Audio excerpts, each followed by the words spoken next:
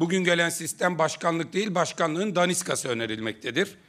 Buna anayasa hukukçuları patronlu hiper başkanlık sistemi demektedirler. Ve burada özellikle Cumhurbaşkanı'nın atama yetkisi, bakanların tamamını atadığı, başbakan yardımcılarını atadığı, yüksek yargıyı, anayasa mahkemesi ve HSYK'nın en az yarısını atadığı ve rektörleri atadığı ve tüm atama yetkilerinin sarayda toplandığı, başkanda toplandığı bir önermeyle karşı karşıyayız. Bu ülkenin kurucusu Gazi Mustafa Kemal Atatürk egemenliği saraydan almış, halka teslim etmişti ve onun da tecelli ettiği yer, karşılık bulduğu yer Türkiye Büyük Millet Meclisi. Şimdi o koruyucu iradeye karşı bu yıkıcı irade, bu bölücü irade egemenliği halktan, halkın meclisinden alıp tekrar bir saraya taşımaktadır.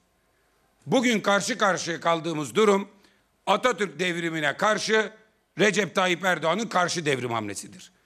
Eğer bu başarılırsa sarayda bulunan ve Atatürk'ün kendisi için kullanmadığı yetkileri taşıdığı meclis bu yetkilerini tekrar bir saraya taşıyacaktır ve ülke meclise karşı sorumluluğu son derece sınırlı, seçilmişlerin değil, daha doğrusu atanmışlar da dememek lazım. Saraydaki irade tarafından seçilmişlerin ama halk iradesiyle oyla değil, kavun gibi seçilmişlerin, elma armut gibi seçilmişlerin şekline bakarak, kokusuna bakarak, ne olduğuna bakarak, kendisine yakınlığına bakarak seçilmişlerin yönettiği bir ülkeyle karşı karşıya olma durumundayız. Bu başkanlıkla Türkmen tipi başkanlık arasındaki tek fark orada mülkiyetinde başkana ait olmasıdır. Biraz daha sessiz kalınırsa, bugünkü Cumhurbaşkanı yarınki başkana bu yetkiler verilirse bir sonraki adım mülkiyetinde sarayda toplanmasıdır. Vatandaşın malına, mülküne de bundan sonra saray sahip olacaktır.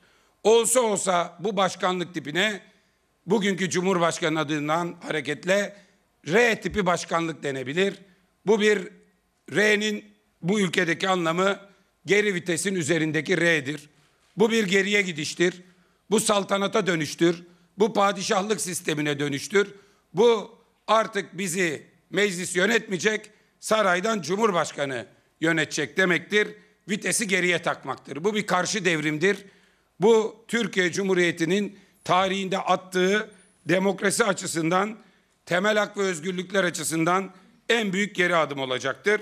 Bu şartlar altında kendilerine sunulan bu 29 maddelik tasarı geldiğinde bundan önce biz parlamenter sistemden yanayız. Biz doğru olmayan hiçbir şeyi kabul etmeyiz diyen Milliyetçi Hareket Partisi'nin Sayın Genel Başkanı Devlet Bahçeli bu kuryeyi elindeki bu paketle gerisin geriye yollamayıp bunu müzakereye açtığına göre bundan sonra artık dün de kendilerini bu konuda uyarmıştık. Vatandaşın aklıyla alay etmek, sürekli ifade ettiği yüce Türk milleti olarak söylediği ve kendisinin temel siyasetini dayandırdığı Türk milletinin aklıyla alay etmekten Türk milletini sarayla birlikte salak yerine koymaktan da vazgeçsinler.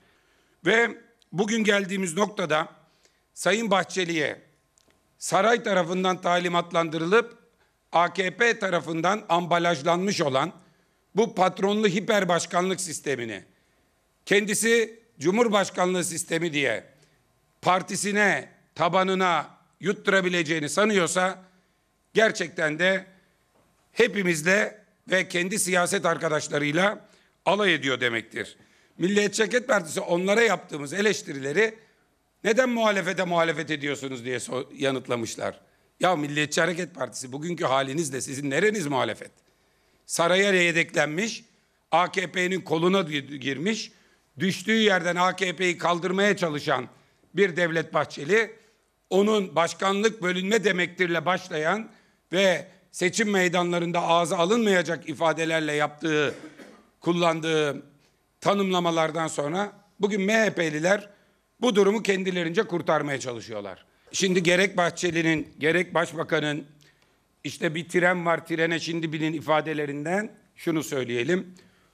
ortada bir demokrasi treni olsa bunun içinde seçilmiş, meclisin tüm seçilmişleri olarak iyiye doğru yeni ve Türkiye'yi daha medeni bir dünyaya taşıyacak olan bu trende seyahat etmek büyük bir mutluluk verirdi. Ama bugün bir demokrasi treninden değil, bir saltanat kayığından bahsediyoruz.